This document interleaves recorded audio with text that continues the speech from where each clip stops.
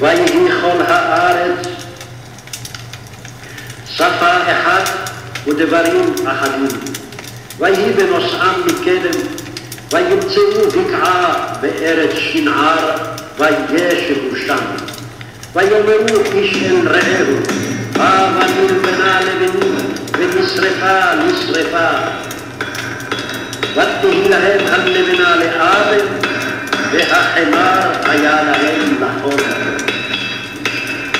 ויאמרו, הבה נבנה לנו עיר ומגדל בראשו בשמיים.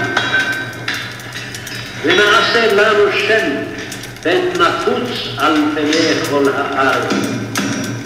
וירד אדוני לראות את העיר ואת המגדל אשר בנו בני האדם. ויאמר אדוני, הם עם אחד בשפה אחת לכולם, וזה החילם לעשות, ועתה לא יתבצר מהם כל אשר יאזינו לעשות.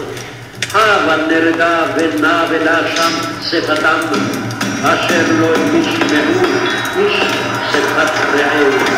ויאבץ אדוני אותם משם על פני כל הארץ,